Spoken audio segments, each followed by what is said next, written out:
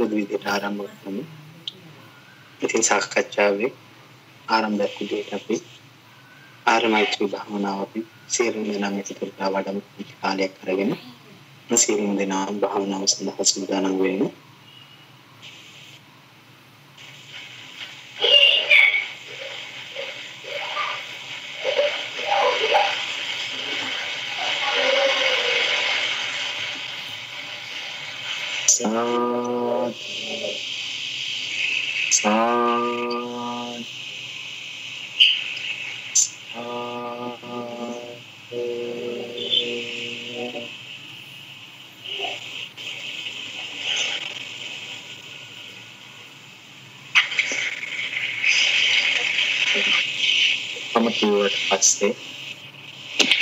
ආර්යකමක් සියලුම දෙනාම.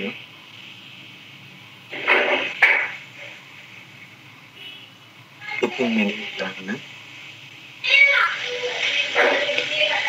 අනන්ත සත්‍යරකට මේ මොහොත දක්වා මාගේ සිත කය වචනය යන තුන්දොරින් සම්මා සම්බුදු පියාණන් වහන්සේලාට පසේ බුදුරජාණන් වහන්සේලාට අරිහත් උත්තමයන් වහන්සේලාට ආර්ය උත්තමයන් වහන්සේලාට සම්බුද්ධ ශාසනයට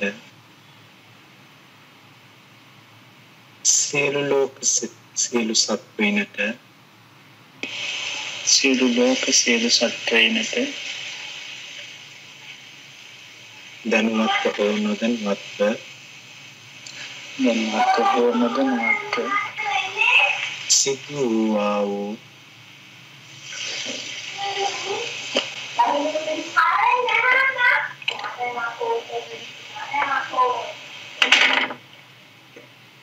අවඩක් අසාධාරණයක්. වරදක් ප්‍රමාද දෝෂයක්.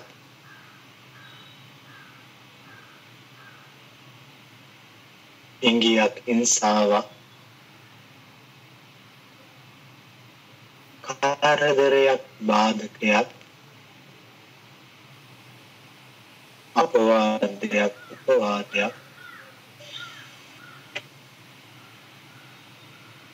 සිදු වී ඇත්නම් ඒ සියල්ලටම මාහට කමා කරන සේක්වා.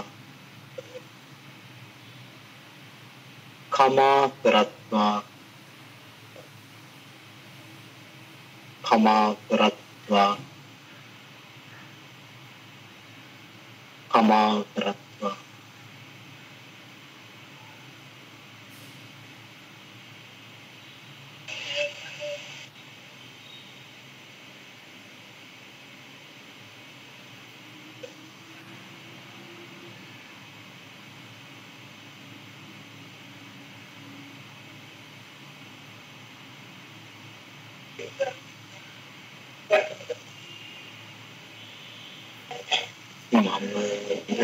සියලු ලෝක සියලු සත්වයෝ සංසාර දුකෙන් මිදෙත්වා සංසාර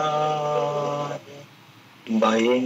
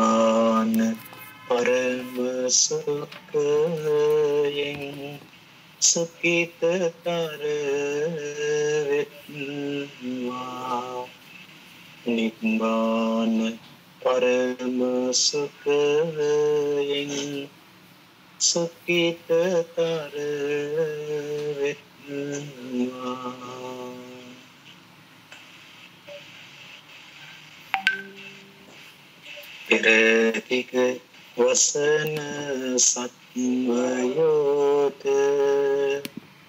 පෙර අනුභික වසන සත්වයෝත දකුණු තික වසන සත්වයෝත දකුණු අනුදික වසන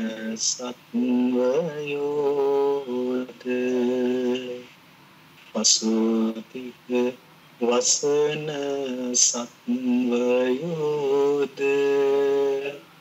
පසුවනුදික වසන සත්වයෝ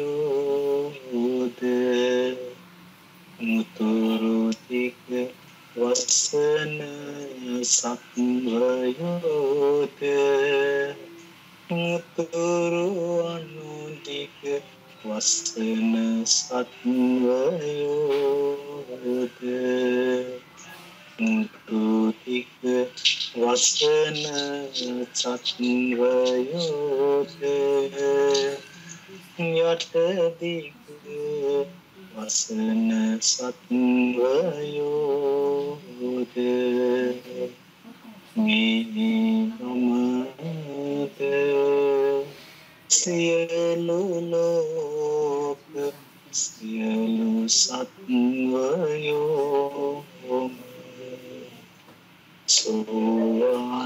follow.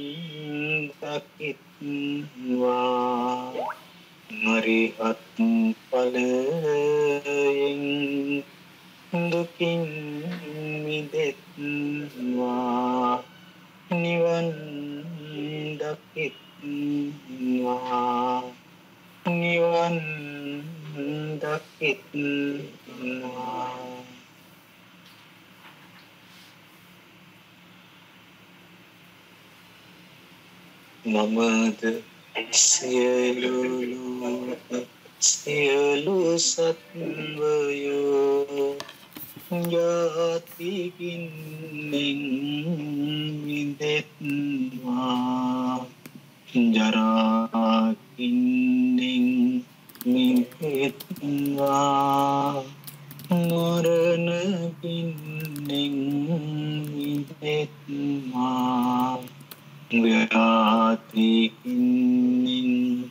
මිදෙත්වා සෝතගින්නින්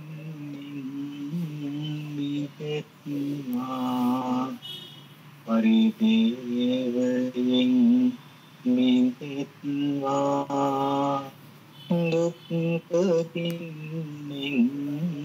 මිදෙත්වා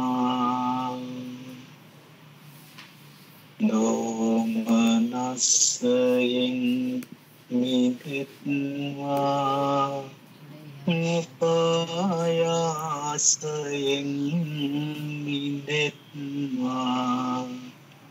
යම් පිච්චං රල්පති තම් පිදුක්කයෙන් විදෙත්වා පඤ්චෝපාදානත් කන්දයෙන් හෙත්වා නිවාන පරමස්තුකයෙන් සකිතතර වෙත්වා නිවාන පරමසුකයෙන් සකිතතර වෙත්වා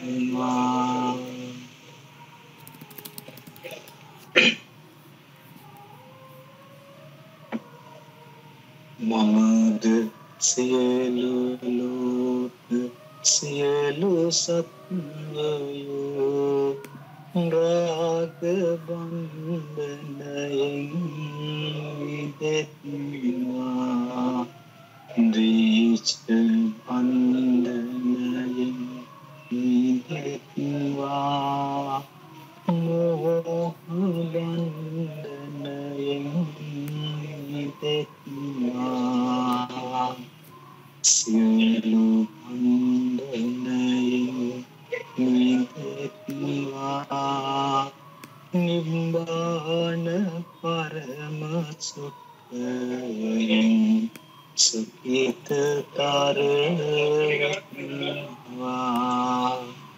නිම්මාන පරම සුඛයෙන් සුඛිත තරෙත්වා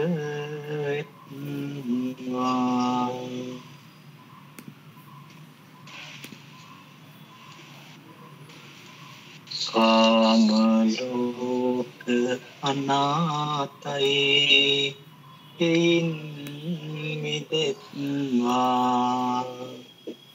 රූපලෝක අනාතයි එයින් මිදෙත්වා. අරූපලෝක අනාතයි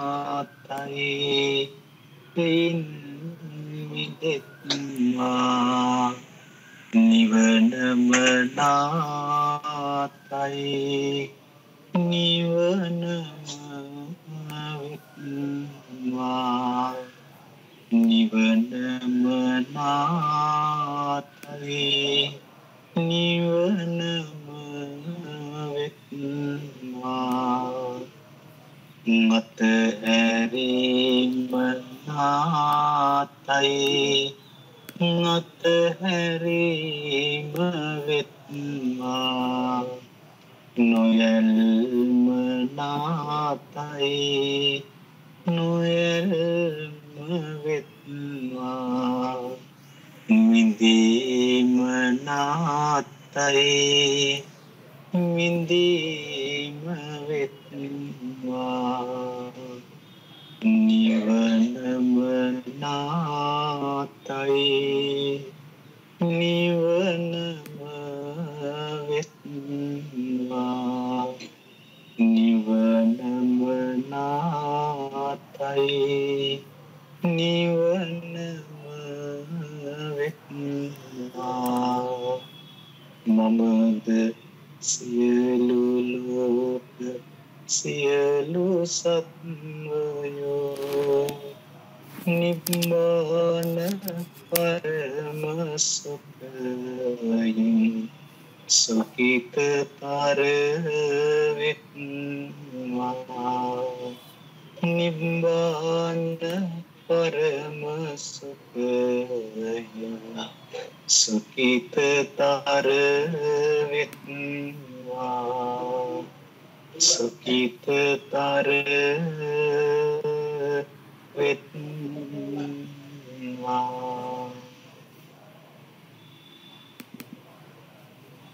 satu satu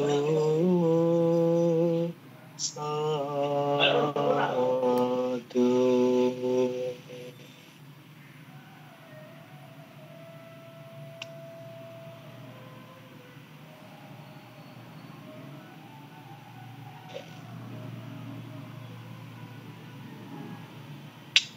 Baik. Terima kasih. පින්වත් ඔබ සියලුම දෙනාටම ඒ වුණාද දවසේ හරි නිස්සරණයේ මඟ සඳහන් සාකච්ඡාව සමගයි ඔබ සියලුම දෙනාම එකතු වෙලා ඉන්නේ. ඒ වුණාද දවසේ අපගේ දහම් සාකච්ඡාවට වැඩම අවදාළ පින්වත් ස්වාමීන් වහන්සේව අපි සියලුම දෙනාම දෙපා නැමද උන්වහන්සේව පිළිගනිමු. උන්වහන්සේට ආරාධනා කර සිටිමු මෙතෙන් පටන් දහම් සාකච්ඡාවයි කරගෙන යන්න කියලා. තෙරුවන් සතරණයි ස්වාමීන් වහන්සේ. තෙරුවන් සරණයි මහත්තය. තෙරුවන් සරණයි පින්වත් සියලු දෙනාටම. ලලිත් මහත්තය මේ අද ඉංග්‍රීසි ධර්ම දේශනාවට වෙන් කරලා තියෙන දවස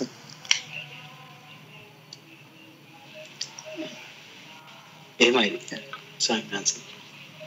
ඒකට වෙනම ගෲපයක් හදලා තියෙනවද එහෙම නැත්නම් මේකමද කරන්නේ? ඒ පිළිබඳව මේ ලසන්ත මහත්මයා මාත් එක්කත් පොඩ්ඩක් කතා කරා. මේ මේකම තමයි අපි හඳුන්වන්නේ. මේ මොකද අදට මේ මේක මේ විදිහටම අ, සම්බන්ධ කරා මොකද අරකට මම මෙසේජ් එකක් දැම්මා අපේ හැමෝටම සිංහල ගෲප් එකට අද මේ සාකච්ඡාවක් තියෙනවා කියලා. මේ ඒ කට්ටියට ඒ කට්ටියට දැන් බලාගෙන ඉඳී කියලා අපේ හැමෝටම එතකොට දැන් මේක පිළිබඳව දැනුවත් වෙනකොට අවශ්‍ය අය රැඳේවි. විලාස් මහත්තයට ඉන්ෆෝම් කරා අපි හැමෝටම මේ ඉන්න අය ඉන්නවා නම් මේකට සම්බන්ධ කරන්න කියලා. එතුමත් මෙසේජ් එකක් දාලා තියෙනවා ඉංග්‍රීසි දේශනාව සම්බන්ධ ගෲප් එකට ඉන්නවා නම් මේකට සම්බන්ධ වෙන්නයි කියලා අපේ හොඳයි. ගැටලුවක් නැහැ මේ යනකොට මේ මේ ගෲප් එකේ අද අද දවසේ දේශනාව කරගෙන යන්න පුළුවන් අපේ හැමෝටම. හොඳයි. තෙරුවන් සරණයි. මත්මේ.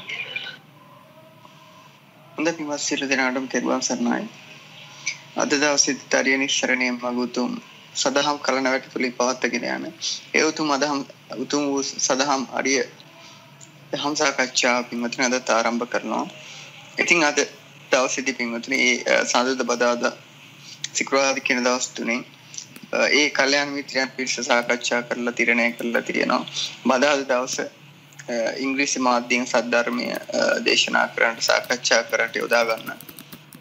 ඉතින් ඉංග්‍රීසි මාධ්‍යයෙන් අ, දහම් ශ්‍රවණය කරන්නට දහම පරිශීලනය කරන්නට කැමැත්තක් තියෙන අය අ, කැමැත්තක් දක්වනට අ, අනුග්‍රහය පිණිස ඒ ආකාරයට අ, ඒ ඉංග්‍රීසි සද්ධර්මය දේශනා කරනීම වෙනුවෙන් අපිත් එක්ක අ, සහසම්බන්ධ තාතේදී ගතේ ඉන්දියන් ජාතිකයේ විලාස් කඩිවාල් කියන මහත්තයා මූලික වෙලා ඒ වගේම කල්යාණ මිත්‍රයෝ මූලික වෙලා ඒ දහම් සාකච්ඡාවේ ම්, පළවෙනි ඉංග්‍රීසි දහම් සභාව විදියට අ, අද ආරම්භ කරන්නට බලාපොරොත්තු වෙනවා. ඉතින් ඒකට ඇත්තටම වෙනම ගෲප් වෙනම ගෲප් එකක් වෙනම දහම් සභාවක් අ, මම හිතන්නේ නේ- අ, හදලා තියෙනවා. නමුත් අද දවසේදී යම්කිසි අ, පෙර දැනුම් දීමක් අ, නොකිරීමට අප අ, නොයි කරගන්නට බැරි වෙච්ච නිසා අද දවසේදී අපේ සුපුරුදු පරිදි නිස්සරණයේ මග සිංහල දහම් සභාව තුලම අ, ඉංග්‍රීසි දහම් අ, සාකච්ඡාව කරගෙන යන්නට අ, කරගෙන යනවා කියලා දැනුම් දෙලා තියෙනවා. ඉතින් අ, ඒ ආකාරයට අ, අද දවසේ සියලු දෙනාම අදිෂ්ඨාන කරගන්නට පින්වතුනි. සද්ධර්මය ශ්‍රවණය කරනකොට තන් සුනාත සාදුකම් මනසිකරෝත සුනාත ධාරේත චරාත ධම්මේ කිව්ව විදියට සද්ධර්මයේ මනාකොට ශ්‍රවණය කොට මනාකොට ශ්‍රවණය කරා වූ ධර්මයේ මනාකොට ධාරණය කරගෙන රාග දේශ මොහ විනය වෙන ආකාරයකට රාගක්කේ දේශක්කේ මොහක්කේ කියන මූලික අරමුණ ඉෂ්ට සිද්ධ වෙනතුරු ඒ දහම මනසිකාරය කළේ දහම තුළ හැසිරිය යුතුයි පින්වතුනි. එතකොට තමයි ඒ උතුම් ධර්මාවබෝධය ලබාගෙන ඒ දහමෙන් උපරිම ඵල නෙලාගෙන ඒ සෝවාන් සකදාගාමි අනාගාමි අරිහත් කියන මඟවල පූර්ණේ කරගෙන මේ සංසාර දුකින් අත මිදෙන්න අවස්ථාව සලස ගන්න පුළුවන්. ඉතින් ඒ නිසා අ, සැලකිලිමත් වෙන්න පින්වතුනි මනාකොට සීය පීටවන්න මනාකොට වීරිය පීටවගෙන මේ සද්ධර්මයේ ශ්‍රවණය කරන්නට ඒ වගේම අදිෂ්ඨානයක් ඇති කර ගන්න පින්වතුනි අනන්ත සංසාරේ පටන් අපි අතින් අ, ලෝක සත්‍යයට බුදු- බුදු- බුදුපසේ බුදුමහරහතන් වහන්සේලාට වේවා ඒ වගේම බුද්ධ ශාසනයකට වේවා ඒ වගේම ලෝක කවර කවුදට වේවා පින්වතුනි අපි අතින් පාපයක් අකුසල කර්මයක් උද කර්මකතයක් නොවෙච්ච සිද්ධ සිද්ධ නොවෙච්ච කෙනෙක් නෑ. ඉතින් මේ දේවල් නිසා අපේ නිවනට බාධා විදියට යම් කිසි කම්මාවරණ ධම්මාවරණ විපාකාවරණ ශක්තියක් අකුසල විපාක ශක්තිය තියෙනවා නම් ඒ දේවල් මේ මොහොතේදී ඉස්මතු නොවේවා ඉස්මතු නොවේවා ඈ ඇදී ඉස්මතු වෙච්ච තියෙනවා නම් පින්වතුනි ඇදී ඇදී ඇවිච්ච තියෙනවා නම් ඒවා බැහැර වෙත්වා අදුරස් වෙත්වා අදුරස් වෙත්වා මේ මොහොතේ අනන්ත සංසාරේ පටන් කරපු පුණ්‍ය කුසල කර්ම තුලින් ජනිත කළා පුණ්‍ය කුසල ආශිර්වාද ශක්තියෙන් අ, ඒ ඒ රැස් කරගත්තා වුණ කුසල ආශිර්වාද ශුද්ධ කිරණ ශක්තිය මේ මොහොතේ ඉස්මතු වේවා ඉස්මතු වේවා ඉස්මතු වේවා. ඒවා ඇදී ඇවිල්ලා අපට සමනන්තර වෙත්වා සමනන්තර වෙත්වා කියලා දහම් අවබෝධයට උපකාරයක් ලෙස පිහිටාවා පිහිටාවා පිහිටාවා කියන අදිෂ්ඨානය ඇති කරගන්න.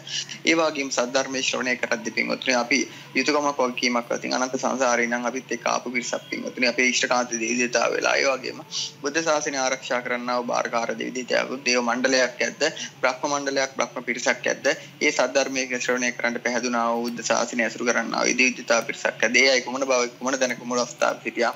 මේ මොහොතේදී මේ උතුම් සද්ධර්ම සාකච්ඡාව සමග දහම් සභාව සමග සහසම්බන්ධ වෙත්වා පිට දී ගනිත්වා උතුම් සද්ධර්ම ශ්‍රවණය කරගෙන උතුම් සෝවාන් සකදාගාමී අනාගාමී අරිහත් කියන මඟඵල පූර්ණේ කරගන්නට කරගෙන අවශ්‍ය ඒ අවශ්‍ය පසුතලය සකස් කර ගනිත්වා කියන දිෂ්ඨානය ඇති කරගන්න. ඒ වගේම සීලම් දෙවිය දෙවියන් බ්‍රහ්මයන් දේව මණ්ඩලයන් ඇතුළු සියලු දෙනාම මේ උතුම් දහම් සභාවට ආශිර්වාද කරත්වා ආශිර්වාද කරත්වා ආශිර්වාද ලබා දෙත්වා කියලා දිෂ්ඨානය ඇති කරගෙන සියලු දෙනාම මම දෙවියන්ට ආරාධනා කරන ප්‍රභු සියලු දෙනාට පින්වතුනි මනසින් දෙවියන්ට ආරාධනා කරන්න.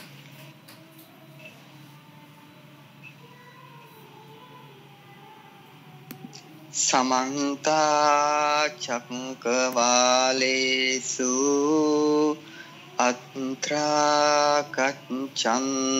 දේවතා සද්ධම්මං මුනිරාජස්ස සුනන්තු සක්ක මොක්කදං ධම්මස්සවන කාලෝ අයං බදන්තා ධම්මස්සවන කාලෝ අයං බදන්තා ධම්මස්සවන කාලෝ අයං බදන්තා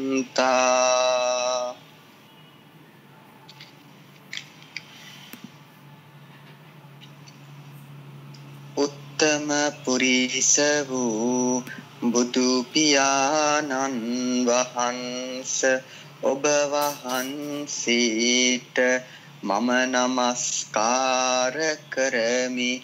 මාගේ නමස්කාරය වේවා. පරම පුරිස වූ බුදු පියාණන් වහන්ස ඔබ වහන්සේට මම නමස්කාර කරමි. මාගේ නමස්කාරය වේවා.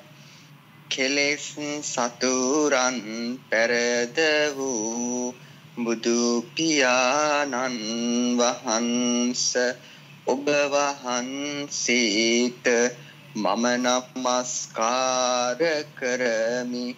මාගේ නමස්කාරය වේවා. සාදු සාදු සාදු.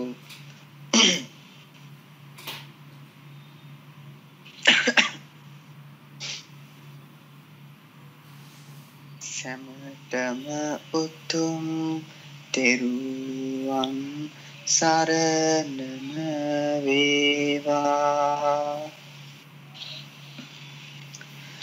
සැමටම උතුම් තෙරුවනේ සමවත වේවා.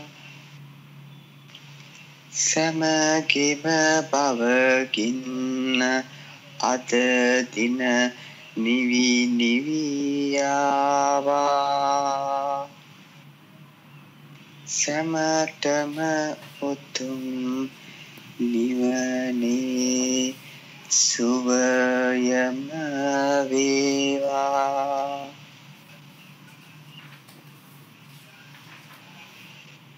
නිවාස සියලු දෙනාටම දෙවියන් බ්‍රහ්මයන් සහිත වූ සද්ධර්මයේ ශ්‍රවණය කරන්නා වූ සියලු දෙනාටම අද තිත දහම් ශ්‍රවණය කරලා උතුම් සෝවාන් සකදාගාමී අනාගාමී අරිහත් කියන මඟඵල පූර්ණණය කරගෙන උතුම් නිබ්බාන පරම සුඛින් සුඛිතර වීම සඳහා ධෛර්ය ශක්තිය ආයු වන්න සබ්බර පරිවාන ප්‍රඥා කියන පංචවිධ කාරණා පූර්ණේ වෙත්වා වෙත්වා වෙත්වා ආශිර්වාද කරන්න විලාස් hello? Yes, yes. Uh, okay vilas uh, you may start your session thank you. Uh, thank you, uh, Swamin Vahanse. Uh, Sarnai to all.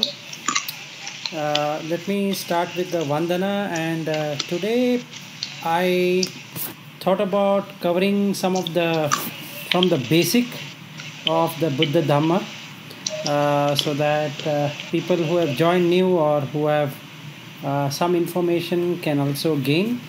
And uh, over the every week I will be taking one aspect uh, of it and then and then uh, we can cover each one aspect of uh, the of the Buddha Dhamma. So uh, let me start with the the Vandana.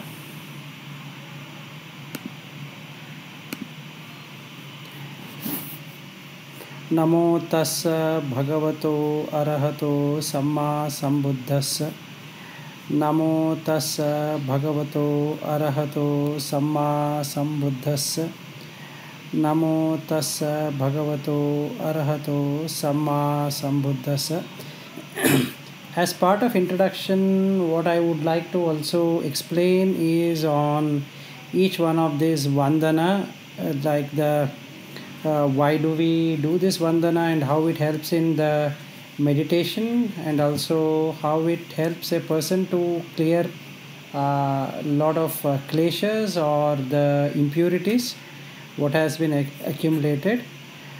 So uh, vandana is uh, actually has three letters that is va andha and na na is nyaya so that is the theory or that is the that is the procedure.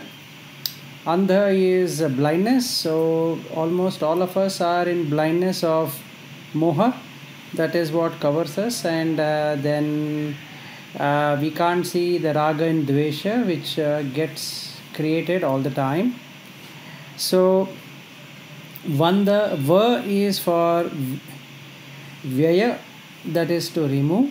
So uh, when we say we are in we are doing vandana it means to say within our hearts. In the hadayavattu we are trying to see whether uh, when we uh, offer the, the prayer to buddha uh, the bhaveya buddha that is one who can remove the bhava uh, whether we are able to see the the blindness being removed so with that let me uh, start my session on what i wanted to discuss. And also i'll be covering uh, some of the aspects of other uh, gatha uh, today uh, so that uh, we can see how scientifically the buddha dhamma helps us in reaching nibbana. So these are the three topics what I had thought about, which I had shared it with Swamin Vahanse. What is Buddha Dhamma and other Dhamma? Uh, how similar or is it different? And what are the varieties in the Buddha Dhamma? There are the majorly there is this uh, Theravada and Mahayana.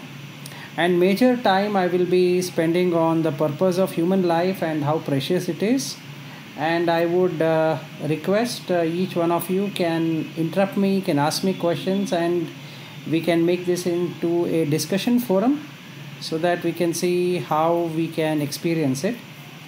So let me start with uh, dhamma. The meaning of dhamma in pali or in sanskrit in, in sanskrit it is dharma. So we can put it as dhareti dhareti dhamma. That is one which can hold uphold is uh, the dhamma so dhamma becomes the teaching or the principle. Once somebody follows can attain whatever he or she would like to achieve. As an example if we take a school there is a principle uh, or the procedure or the practice which the student has to follow from the nursery or the first grade to the 10th grade to the 11th grade or 12th grade till the college or the university or till he gets a job or he or she gets the job. So there is a principle and practice that needs to be followed.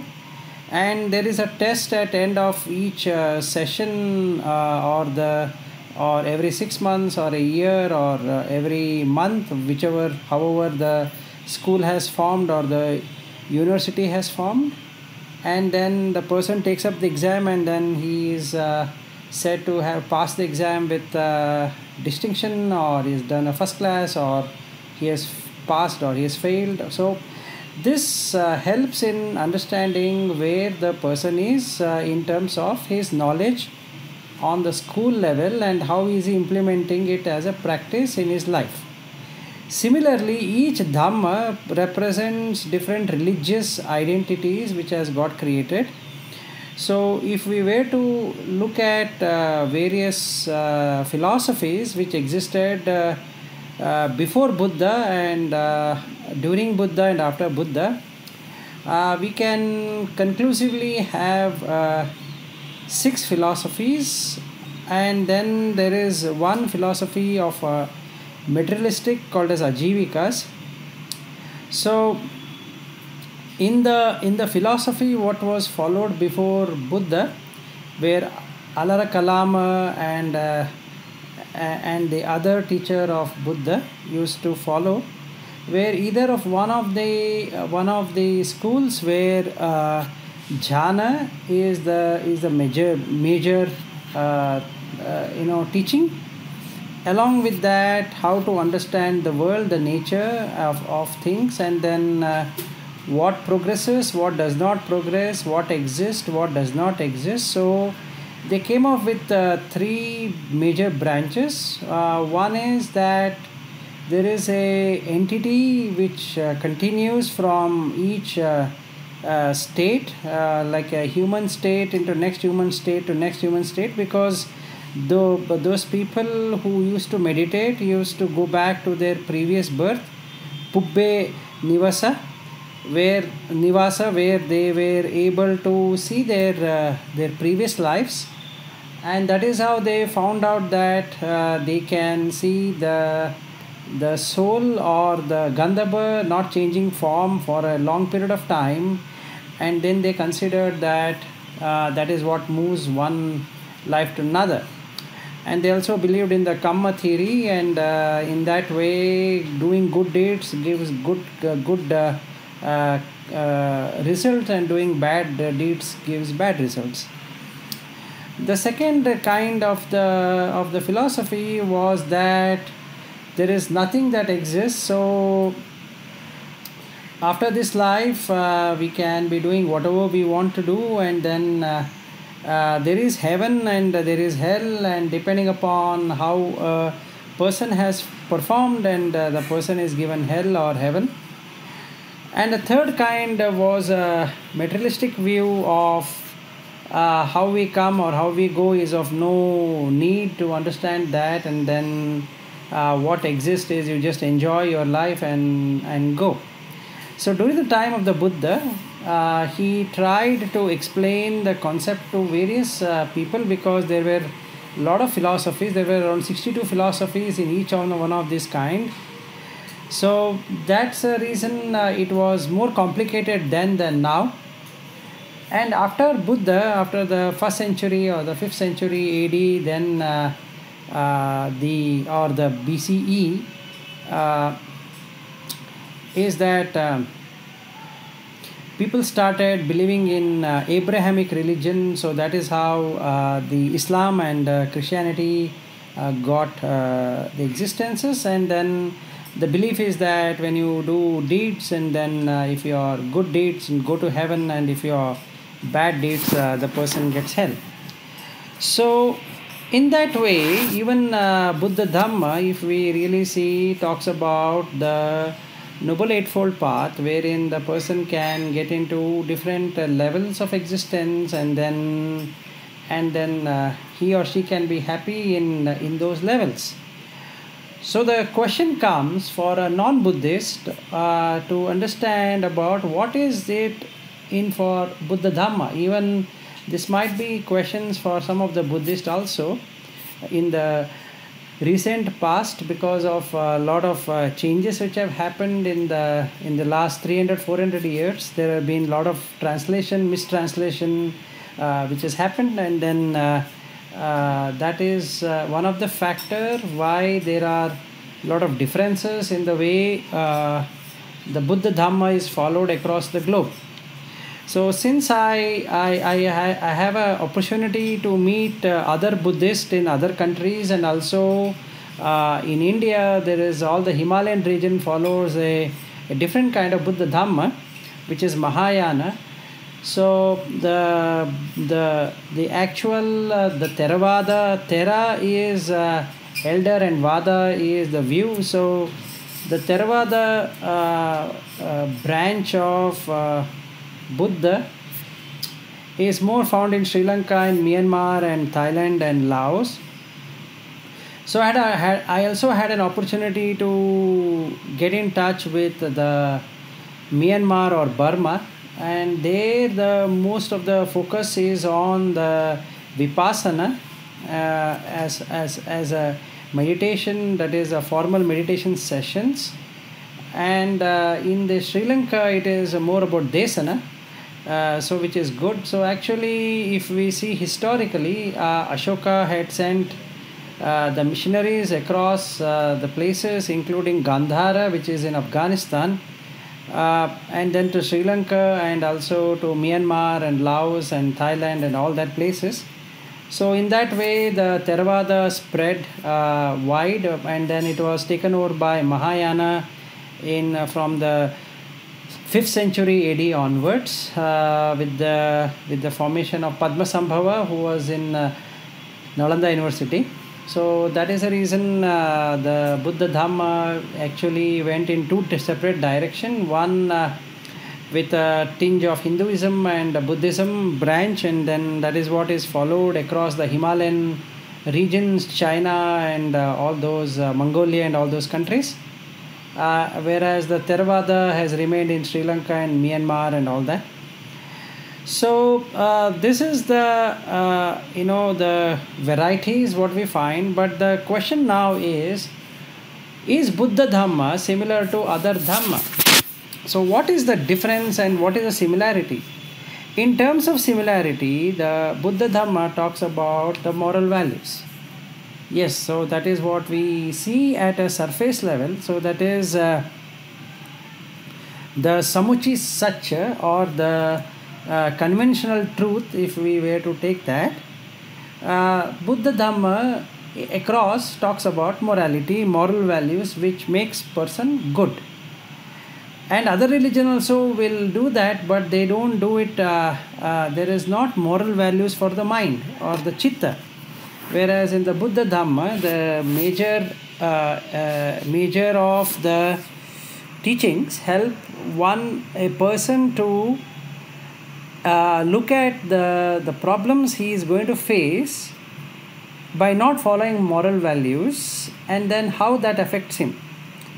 So, at a very lay person level or Pattujana level or Puttujana, is that the person following moral values at least can be promised a, a good rebirth into a heaven or at least as a human or as a Deva need not be a Sotapanna, but he, he is following the, the moral values, so uh, that is what it helps him. But at the at the surface level, all the philosophies across the world looks the same. So now, what's the difference between uh, Buddha Dhamma and other philosophies or religions? In the Buddha Dhamma, it is majorly to the mind so if we if we could change our thoughts or the chitta we can change the gati that is the, the, the characteristics of the person if we call by word gati so that is not there in any other philosophies and also it does not promise that is other philosophies does not promise how a person can uh, actually safeguard or protect himself from reaching the apayas. So, uh, to understand uh, what is that it takes for us to really follow Buddha Dhamma, we can uh, do an experiment in seeing how the universe is formed in terms of the human and animal existences because that can be compared. Also between different kind of human beings because they uh, possess those characteristics as well so what are these characteristics? So now in our life we can find different kinds of animals different kind of species of birds and uh, insects and all of these kind coming as an animal.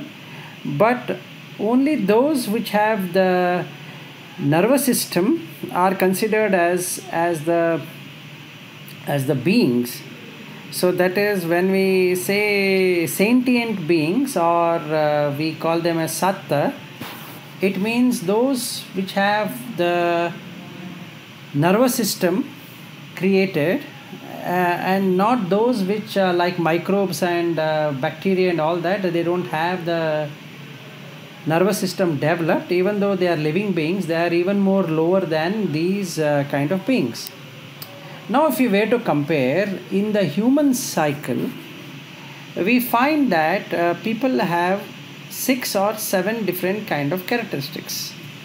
Number one is that people are in general good but depending upon the situation they will react in a way which might cause injury to themselves and injury to others the second kind is the people who are not good but they will protect those who are good to them. So this is another kind of uh, people. So they have uh, dvesha and moha which is uh, more than the raga. The third kind of people we can find is that there are uh, they are selfish and uh, they would like everything to their advantage. And uh, they don't mind abusing or using uh, uh, a bad word or out of anger they might even hit a person or whatever because they feel threatened or they feel insecure. So these people will have high amount of greed which is lobha. And lobha followed by dvesha and moha together and that causes them to sometime act like an animal. The fourth kind of people who are very kind hearted and then uh, they would like to help anyone at the cost of their own lives. And they will give anything uh, to the person. So they give it a dana to people and also they help them in the in the overall development of that person.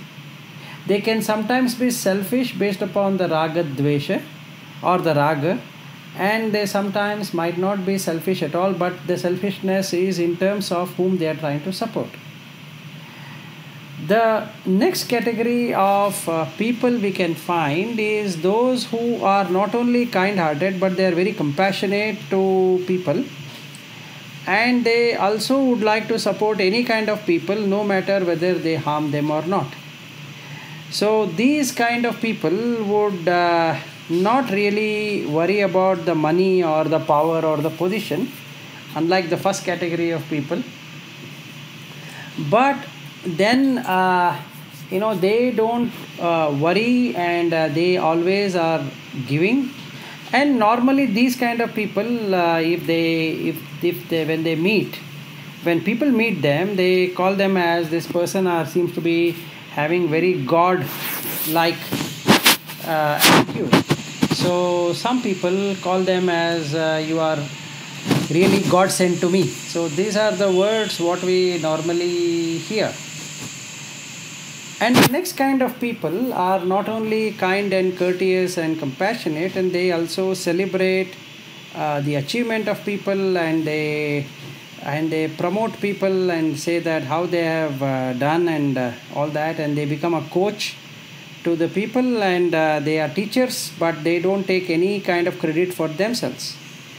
So these are the people are like devas uh, in the in the human realm, and uh, they help uh, to any extent for other people to grow so these are the different kind of category of people whom we can see in our daily life so if we see how these changes have happened and uh, why these many different categories it is easy to see that it has not happened in one life it has happened over a period of life So, if a person were to get a taste of Buddha Dhamma, he will first understand that uh, there are many lives uh, which a person uh, leads to. And uh, if you literally see the Asia, that is India and uh, uh, Sri Lanka, Nepal, and all these countries, since they follow Hinduism mostly and uh, also uh, majorly Buddhism in, in Sri Lanka and in uh, and in all the Theravada countries and also in the Himalayan region, people generally know that there is a rebirth happening because that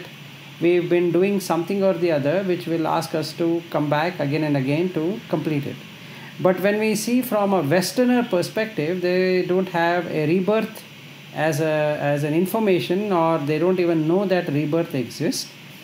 They always feel that there's only one life and uh, this is the life they can they can do whatever they want and however they want. So they can be of any of the kind any of the six kind what i mentioned. And they wouldn't know out of their moha or blindness. They wouldn't know that all of these qualities have been developed over a period of time not in this life but in previous lives also so when we look at the the concept of the buddha dhamma two things will come into light. Is that we can see different animals and uh, birds and species which have uh, similar characteristics of some of the humans when they show up. And then we can compare them and see that how it has happened. So that gives us the second uh, system that there is something or some bhava or the becoming which happens the existence the jati which happens and uh, those those species will get those kind of uh, characteristics or the gati based upon what they have been doing.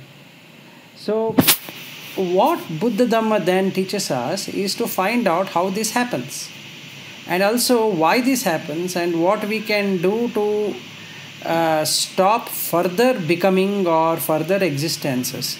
So this is only possible in uh, in the buddha dhamma in terms of step by step process wherein uh, the person can see for himself or herself that if there are some good things which are happening then that is uh, the karma ha- has a vipaka that is the fruits of action and that is helping the person to grow and getting all that what he or she wanted even though there is an effort from the person. So the effort from the person is in terms of chitta. And the bala that or the energy what the person is trying to put on that changes the way he, he or she thinks.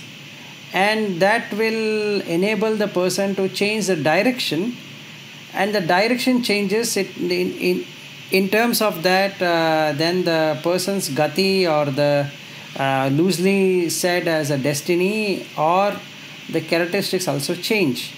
So if the chitta changes the gati then uh, the person can really uh, change his views of uh, that is the micha ditti can be brought about in a samma or the or and also the akusala karma can be reduced and, then replaced by by the kusala karma so these aspects can be experimented in in the buddha shasana or the buddha dhamma. Whereas in other philosophies it is uh, mostly to do with the shraddha wherein there is a faith and then you follow the faith and then after death you will reach the heaven provided uh, those uh, things have worked out in the favor. But there is nothing to say that while you're living you can experience the same ability to see whether it is working or not. So that is a major difference between other philosophies and the and the buddha philosophy because you can test it and you can find out how the mind is working the mind consisting of the chitta the how thoughts are coming and how the person can change his or her thoughts to make it better in his or her life and that uh, helps him to uh, get into the sila that is the morality and then uh, samadhi that is the concentration and panya that is the wisdom. So he or she can really see why certain things are happening to him or her why certain things are not happening to him or her and what needs to be done in order to get rid of uh, the sansara which is filled up with uh, suffering. Uh, so the another english word better word to use is the pain. So that means first we have to take a pain to get the pleasure. So the asvada or the mind made pleasures is the one what we are behind and that can be only found by really uh, following the buddha dhamma. So in that way the similarities are only on the moral values if we see from other philosophies as a religion point of view. Whereas if we go in detail there is a huge difference between the buddha dhamma and the other philosophies so the buddha talks about about about bhaveya uddha that is to remove the further existences which is not uh, possible in uh, in any other philosophies. So uh, I'm just opening it for discussion. If somebody would like to discuss on this aspect, I would welcome. Lasanta, do you want to add something to this?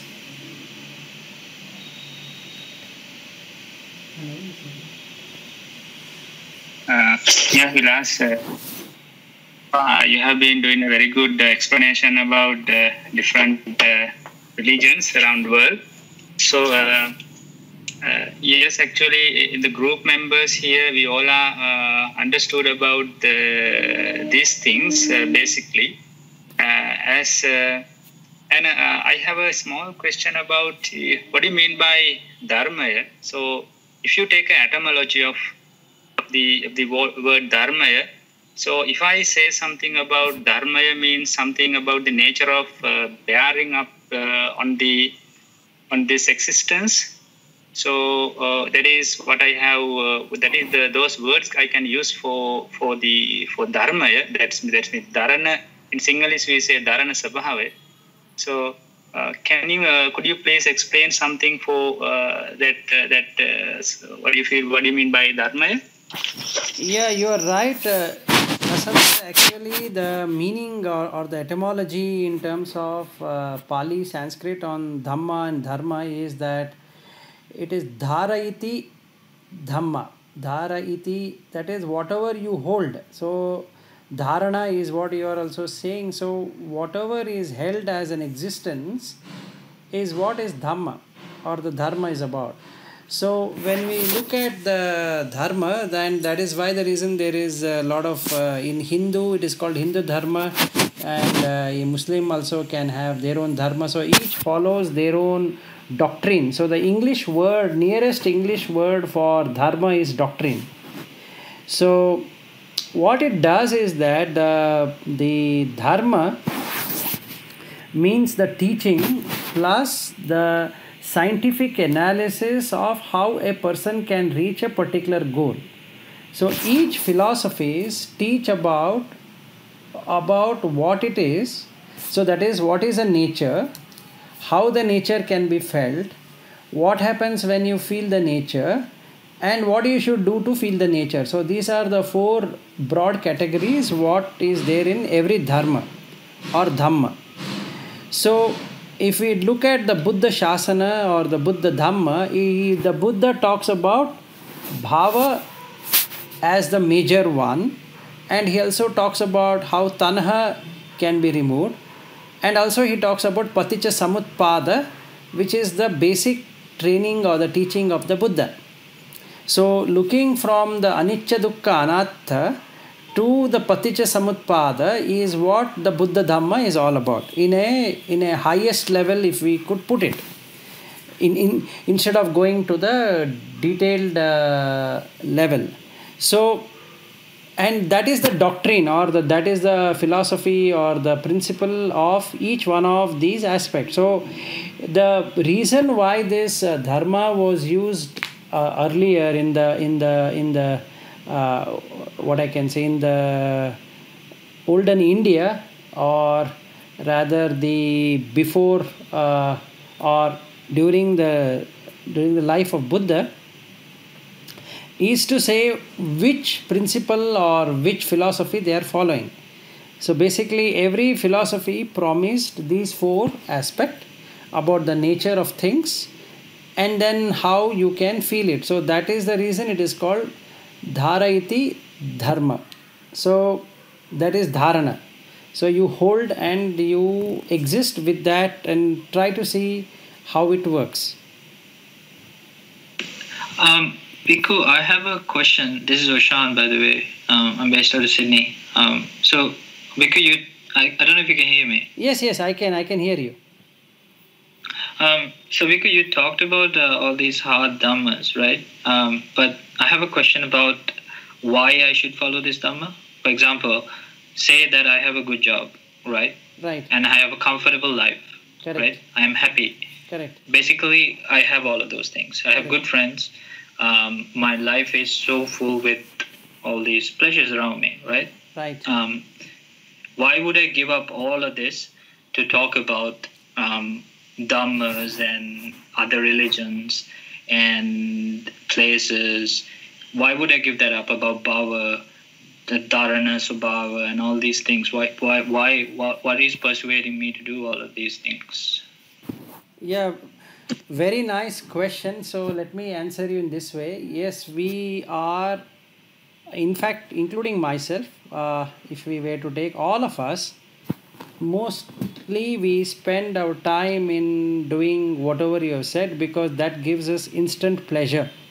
And that is what we feel is what we are supposed to be doing in our lives. That is very, very correct. But to do that, we have to take sufficient pain and uh, when we take the pain there is no guarantee that we can get it so sometimes we get disappointed and we have no idea why this certain things have not working in the way even though we have done everything that is let us say if i were to get a job and let us say i'm working in a company and it is doing well let us say i am the head of the organization also but I cannot do anything about the market whether the whether the product is doing well or is not doing well, which is beyond my uh, you know my preview or my uh, accountability.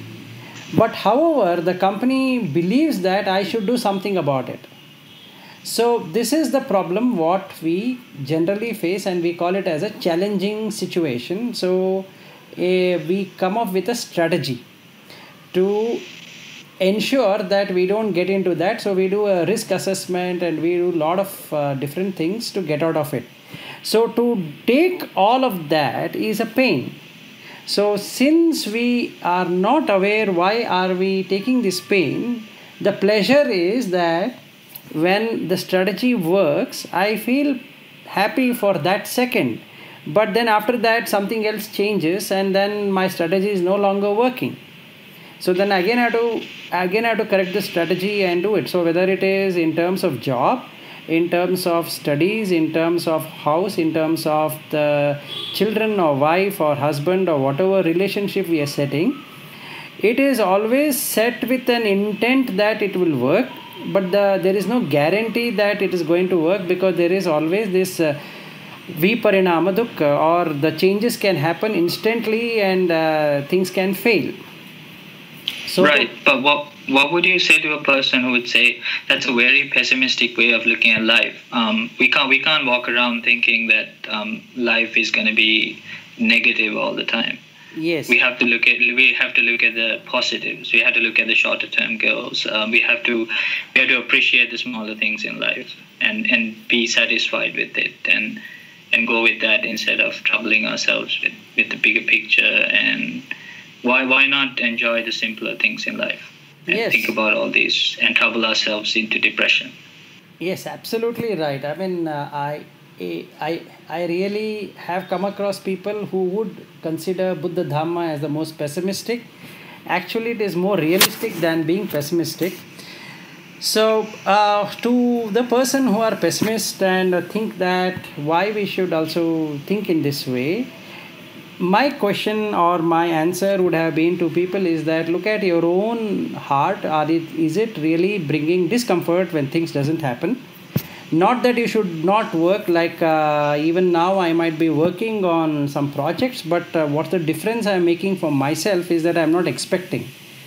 So when i ex- when there is an expectation there is this problem of either getting it or not getting it or something comes in its way and takes it away. So for a pessimistic person what i would what i would uh, recommend that person is that you set your expectation low don't set it high because there is uh, always this changes which happens and the changes can happen without notice whether you're a, the person is a believer in uh, buddha dhamma or not believer in buddha dhamma that doesn't really matter what matters Oh, so, sorry, sorry to interrupt, Bhikkhu. Just a light bulb just went off when you were talking. So basically, what you're saying is because uh, it, the the suffering that comes my way is dependent on the expectations that I build. So the bigger the expectations I build, um, more more discomfort or displeasure Correct. I feel. So Correct.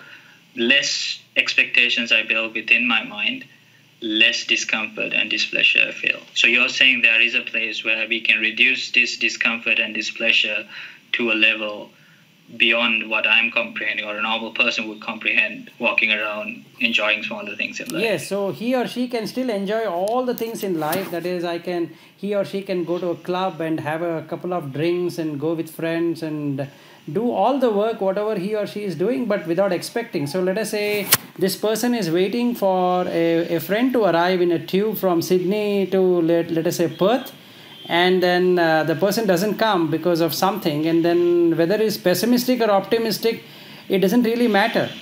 At that time this person is going to feel uneasy and unhappy disappointed. Maybe he might give a call to that person or friend saying that why you couldn't turn up? Not knowing that what really caused him not coming from a place a to place b.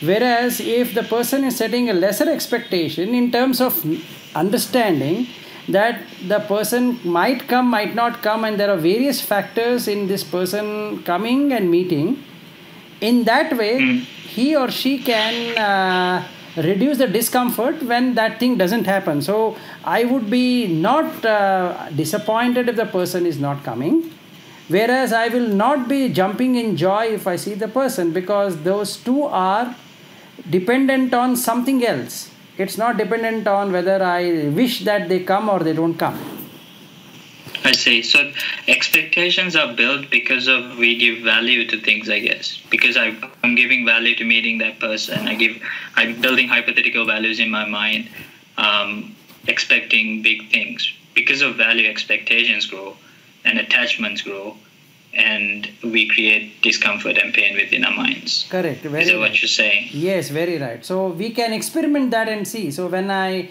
let us say when I'm on the job, I've done very well, and my I expect my manager to wrote uh, sorry rate me the best, and then uh, the market has turned badly this quarter. So uh, my manager now says that you know what you're done well, but the company has not done well. So we couldn't uh, raise your wages and also we cannot promote it at this point in time. So now what has happened to me i now feel cheated by the company. So i have only three options left to me.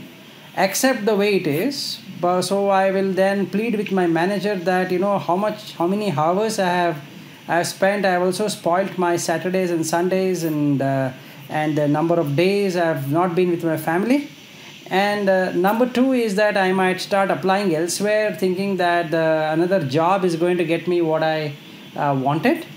And number three is that you know I will become very negative about the company. So these are the three alternatives what I have. But if uh, if I were to really see why am I expecting out of what I'm expecting out of it, I'm expecting happiness. So I'm expecting happiness in something in an external thing that is always changing so Right. that means i'm not going to get any happiness at all because the manager might change the company might close down or the market might go down or whatever any, anything can happen so in everything we do in our daily life we can see these changes happening and we can observe.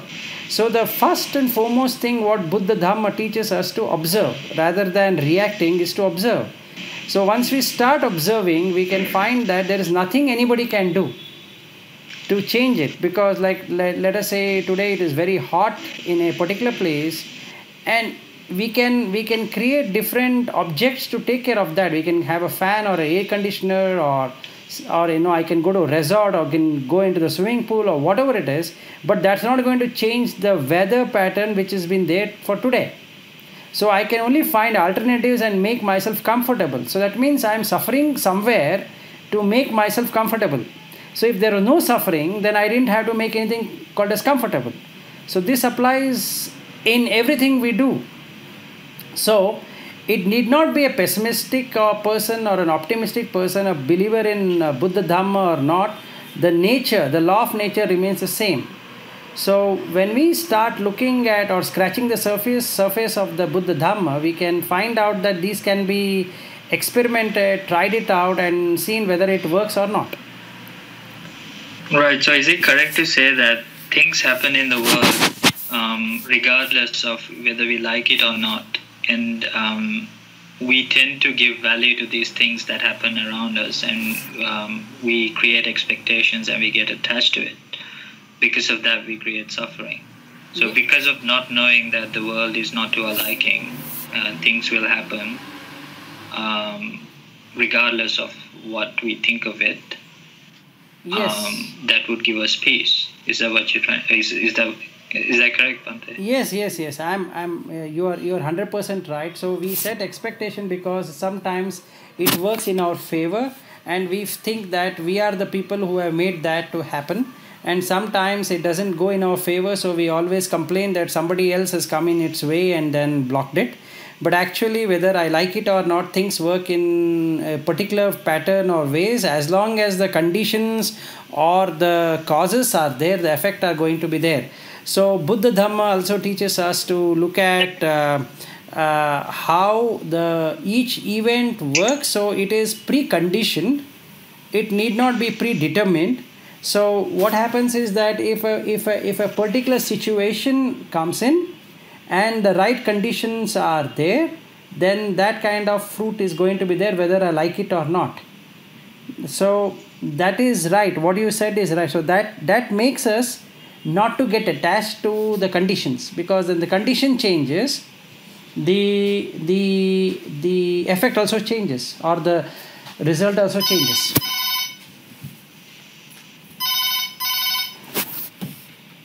Vilas, uh, Hello? can I add something there? yeah sure please go ahead Yeah, because uh, the people around they believe that uh, when they do a good job, actually they have a stable life, uh, stable jobs, and uh, they lead a healthy life. So, uh, but how can they uh, how can they guarantee that uh, how long they can do that? So you know uh, the people they would like to uh, talk about the the patients. For example, when we talk about the cancer patient. So how can we guarantee that they whether I don't ha- I don't have a cancer, you don't have a cancer. So that cannot uh, nobody can guarantee that I don't have a cancer. And uh, so this stability can be seen uh, because of the ignorance and delusion. So actually, they are the uh, the conditions is there all the time, and uh, through that we can see the anicca all the time. So that is what I, I want to add here. Sure.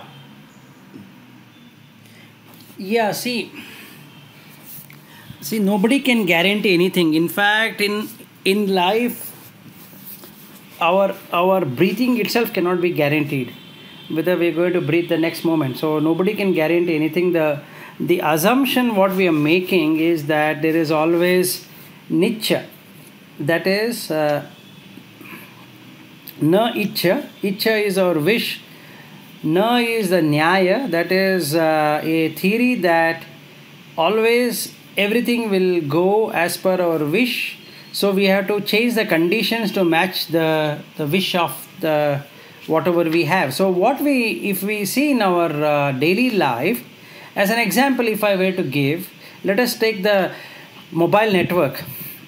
So the the new invention what we have made for the last 20 years is we are now having the mobile phone and the towers and uh, there are companies who are giving the mobile uh, mobile connectivity but nobody can really promise that it works. So what we have done is that we have put our backup.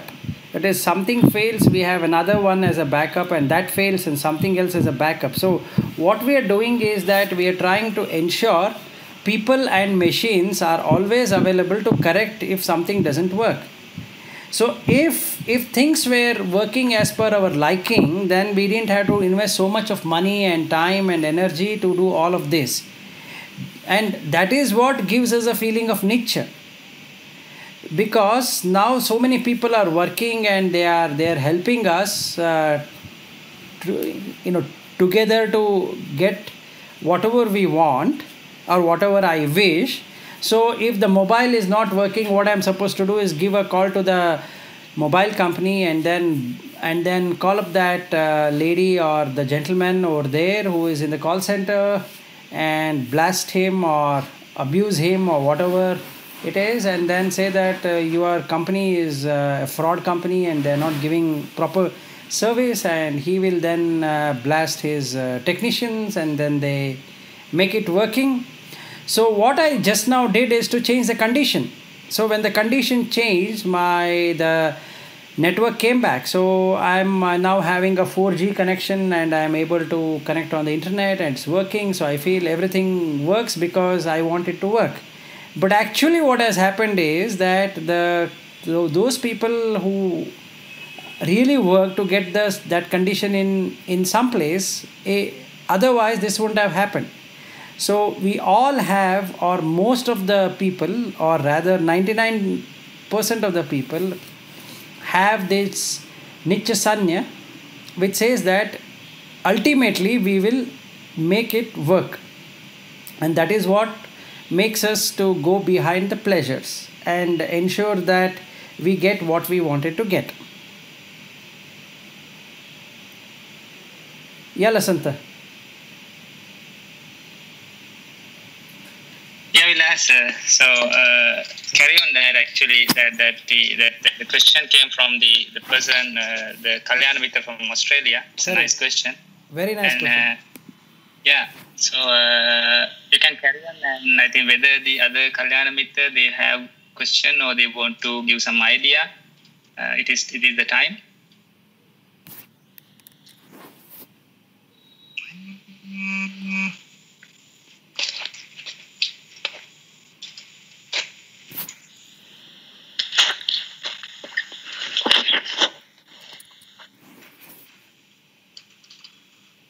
Any questions from anyone? Okay, if you don't have, so I'll just continue on the on the third aspect. Why are we humans? That's a topic. So what what makes it different between a human being and others? So if we see Mm, we are leading a life uh, which is far better than animals i think everybody would agree animals also have intelligence and they do they they really do their life in the way they want to do but they cannot analyze the situations and uh, humans can do it. The pali word best word to be used is manussa.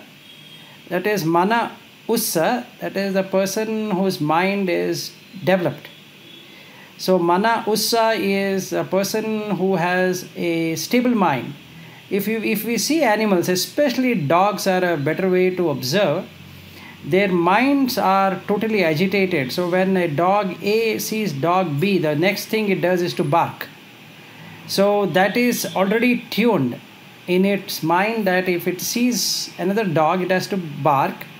It has a fear that uh, the the its own territory will be lost so it barks saying that this is my territory, and the other dog also says that no, I didn't come here for your territory, I have my own territory.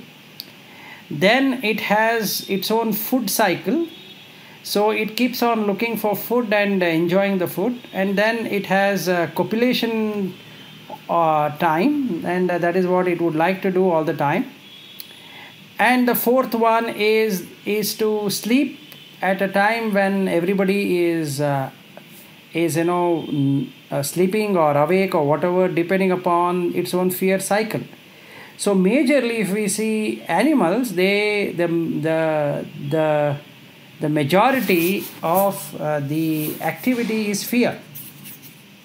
So, due to the fear, they have to have their own territories, guard the territories, and the life goes on in fear. Either it will be eaten away by something or it has to eat something else to, to lead its life. So, that means there is always a fear of death every moment, be it a cat or a dog or a or a let us say cow or a rat or a whatever we see including birds or amphibians to fishes to all of that they are they are targeted all the time so their mind is fully agitated and there is no way they can see what is happening because their only uh, way is to safeguard their own lives. So that their mana is not developed or the mind or the chitta consists of continuous thoughts of fear. Whereas if we look at the humans humans don't have to be afraid. In fact animals are afraid of humans. If we see the world we have taken over everything whatever was belonging to somebody so that clearly shows that human beings can really do wonderful jobs in terms of innovating the way to live. So that means human beings have the ability to create. So that means they have the ability to think like a Brahma. So if there were a realm of Brahma who is supposed to be creator, who uh, who will relish in the creation, we can see that the human beings are able to create.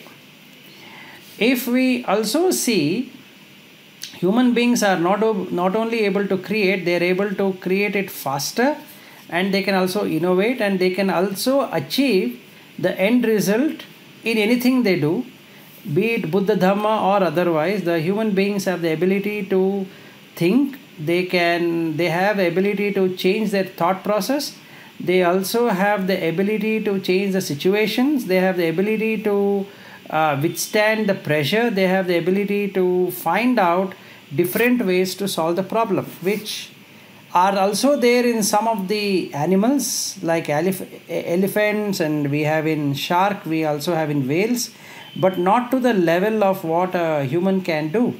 So if we see the innovations what uh, human beings have done in the last uh, so many centuries or in fact before buddha to even before the Gautama Buddha, the earlier Buddha, or whatever, how many life cycles we have had, the Manusa always has an ability to think better uh, and also reason out or comprehend and then look at life in a different way. So it can be used for the rupa or the material objects or arupa wherein the person don't have to look at the rupa but he can or she can look at getting inside and seeing what is happening within oneself so that means the human beings are better placed in both the matter and non matter aspect.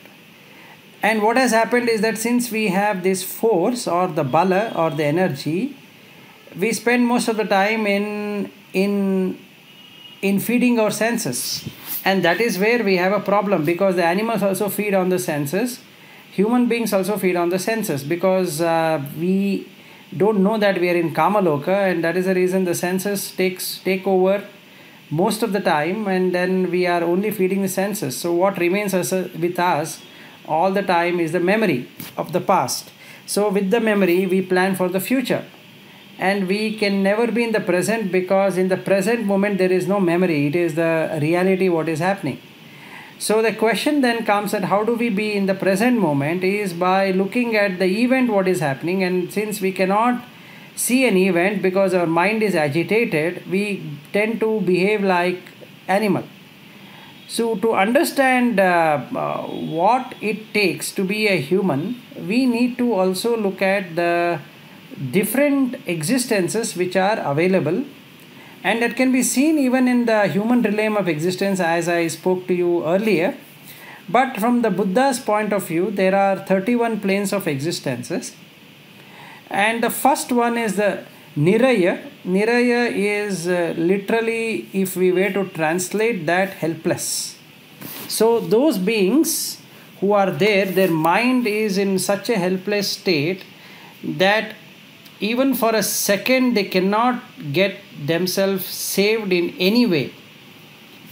So there are different kind of hells which have been explained but uh, the basically what it means is that a person whose uh, ability has gone so bad while in uh, human realm of existence or a deva realm of existence or some realm of existence when he was having a very good life he or she used it for such a bad deeds that they have to then take their mind into such a horrifying state. So the second level is the tirchana yoni that is where the raga dvesha moha the lobha dvesha and moha are equally developed. And then these are this is where the animal always have.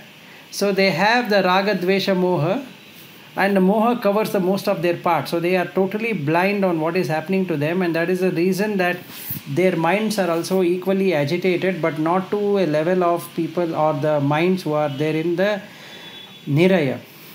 Then there is preta which is nothing but hungry ghost which means that they have one of these three as the highest that is the lobha so while they were uh, while they were in human or other higher realms of existence they had this karma where or the karma where uh, they did not give anything to anyone and also wanted others also to come to them. So other property or other people or whatever they have somebody has also should should come to them.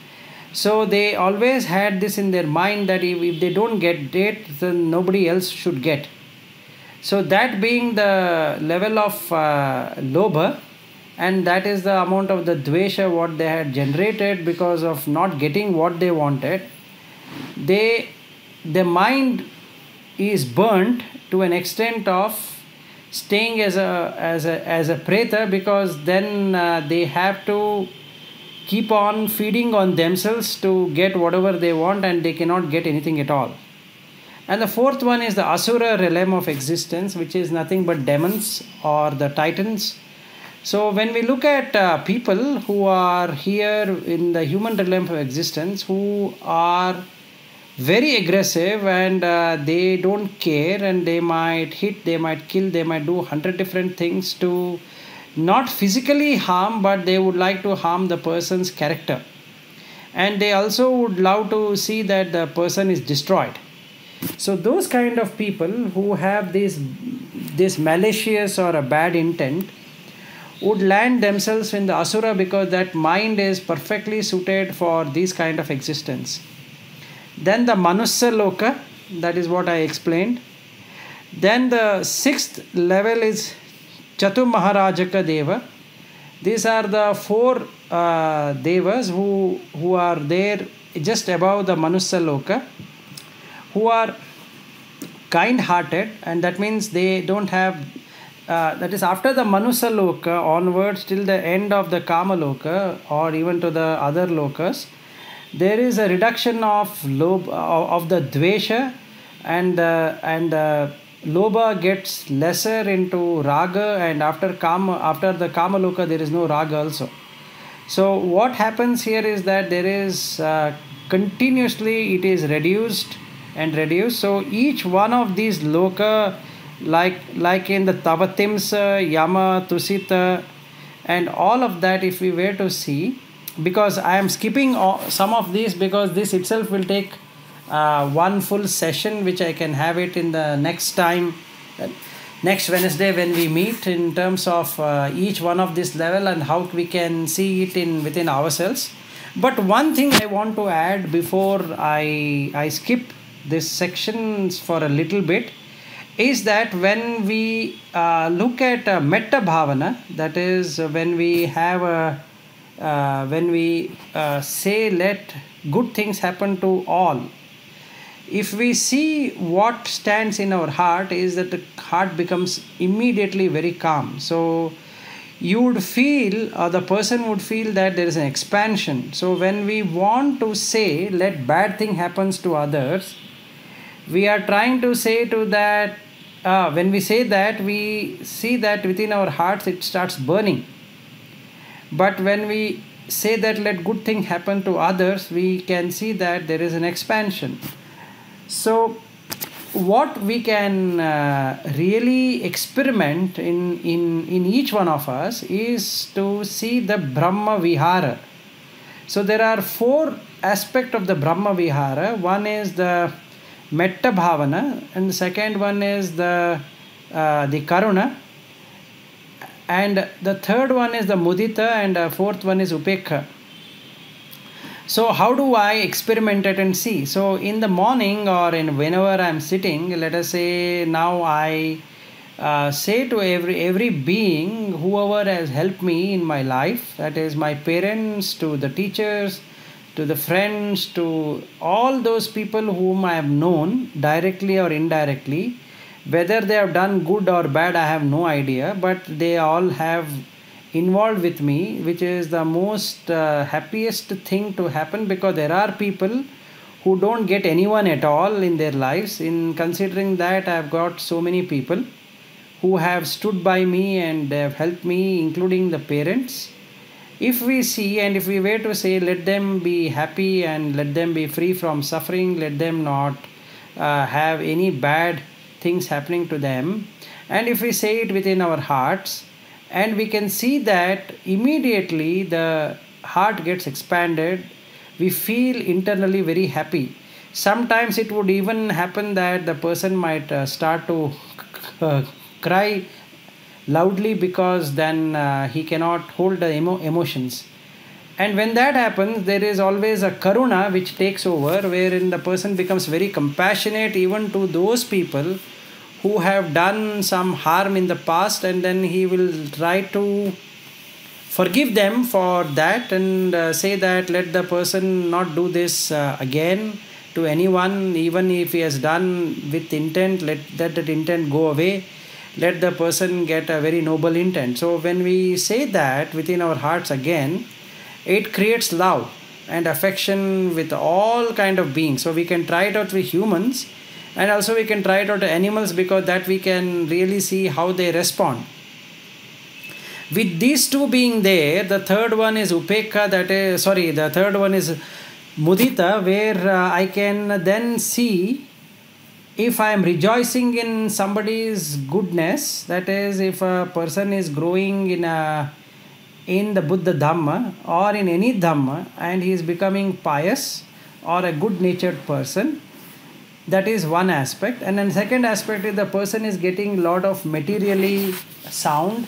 He or she is getting whatever he or she wanted and they're getting good money or power or position and they are uh, doing very well in their lives and then their uh, children are doing well. The, they are they are able to build good homes stay good life and enjoy. So instead of feeling uh, uh, what i can say instead of feeling jealous of people if i were to feel very happy about their achievement if i were to feel jealous i can see that my heart will burn that why i am not getting it. So whatever i am having i am now suffering. First that is the pain will first come to me before anything could happen to them. But when i do mudita that is when i feel uh, very much filled up from my heart and i rejoice in somebody's achievement it expands. So i feel uh, or the person would feel that he or she has touched the sky. So with uh, maitri or metta karuna and, uh, and mudita the person can expand himself or herself into different dimensions and that makes him feel one with nature. And once he becomes one with nature that is the time when he gets into upekha. Upekha is uh, is a is a stage where the where the person becomes equanimous to the situations. That is he or she will not react in any way. So these uh, four aspect that is uh, metta uh, karuna mudita upekha is like staying in Brahma realm of existence. Because if somebody were to do not do jhana, but still he can get into the Uh, second level of jhana, wherein he can get into the Brahma loka within himself, and he can see that it works because when the heart is expanded and he doesn't have any negative thoughts, they are suppressed. So the chitta is now pure. When the chitta is pure, he or she doesn't have any kind of negativity or a, or a bad attitude or a bad manners or any kind of bad deeds at all.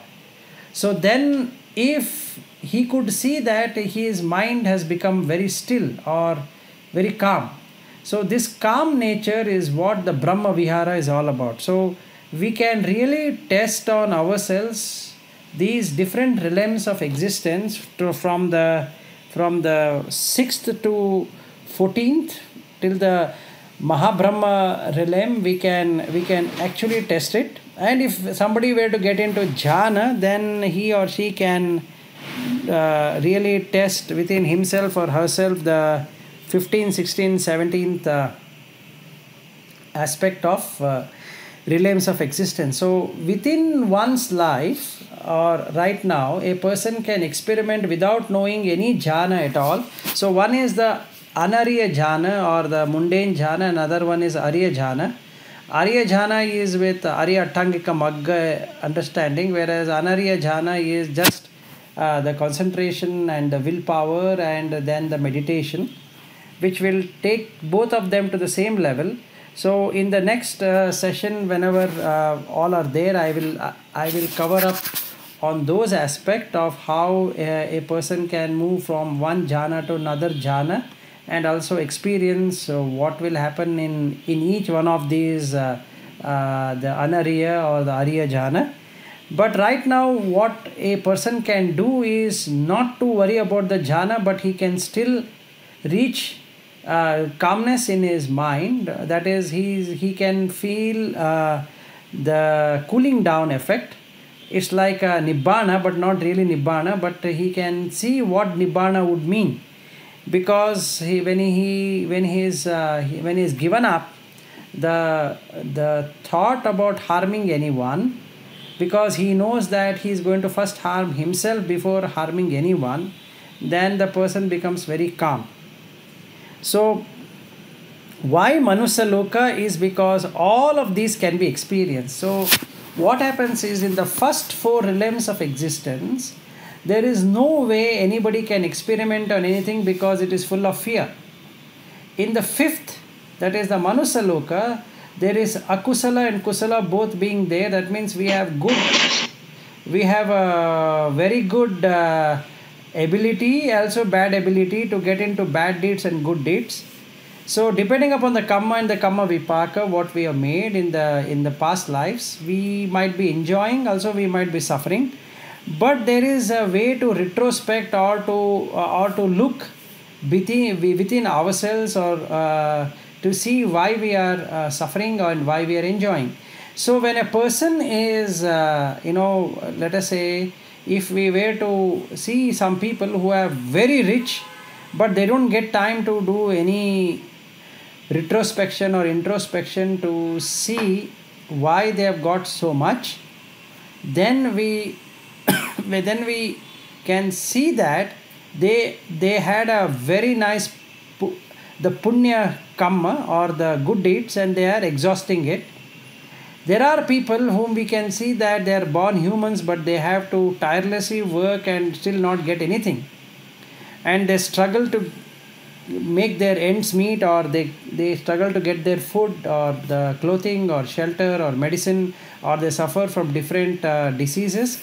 If we were to see them then again we can see that the suffering has been there because of their karma and the karma vipaka. So they also don't get any way to experiment this because every moment they have to do something to live.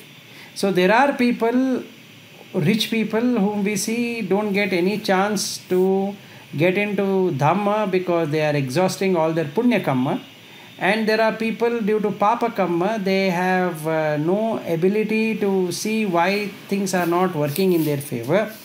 But if we were to get to an opportunity like having both the good and the bad but also have ability to be in the uh, to understand why things are happening. And then if the person is able to have ability to understand buddha dhamma or get into buddha dhamma in the first place whether it is right or wrong then get to the pure dhamma aspect of anicca dukkha anatta so we can now see how fortunate the person is because he he or she is able to cut the root uh, to sorry he is he or she is able to work from the root cause of the problem instead of just trying to address uh, some or here and there uh, whatever the challenges or the problem he or she is facing.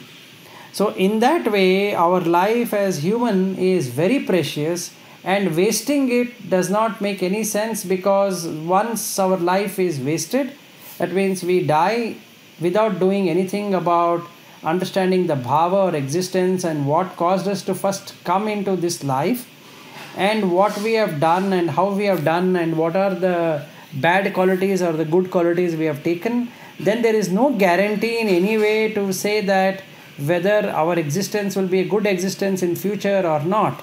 Because unless we safeguard ourselves we there is no way we cannot uh, escape the apayas. The apaya is this uh, niraya to asura realm of existence because uh, we have come from there. We might have really been there sometime because of our bad karma.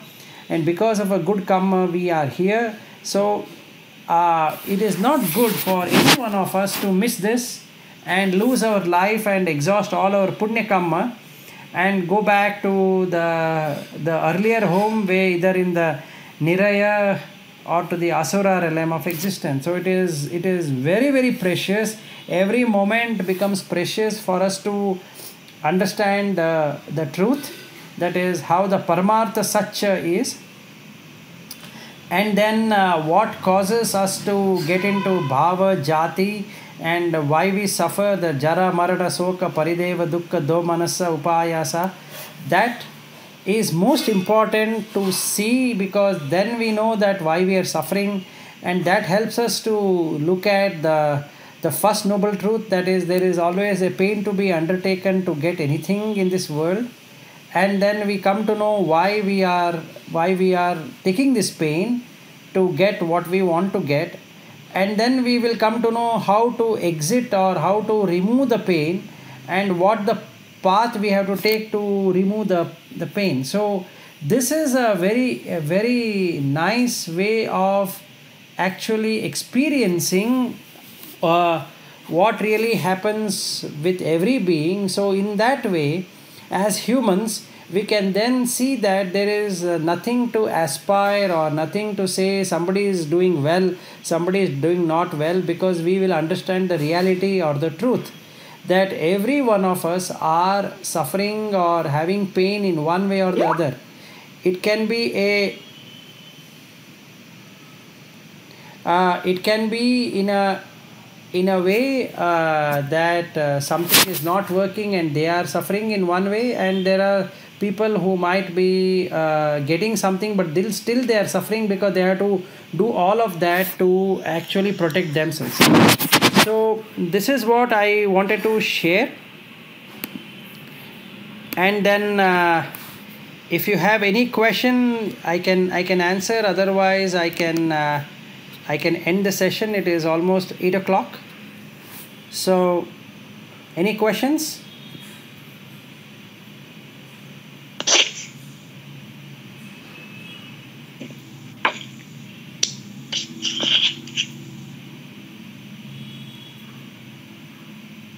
okay. So if there are uh, no questions um, i would uh, i would like to uh, thank everyone and uh, who have attended and also to all the uh, people who have assembled here and who are listening to this desana. Let them all uh, be free from suffering and let them all attain peace. Let them all work towards the nibbana and then get the nibbana And in the future uh, sermons, we will uh, also explain about how to attain uh, uh, the Nibbana, the process, and see that uh, we all uh, enjoy the fruit of the Nibbana and let everybody be happy. Sadhu, sadhu, sadhu.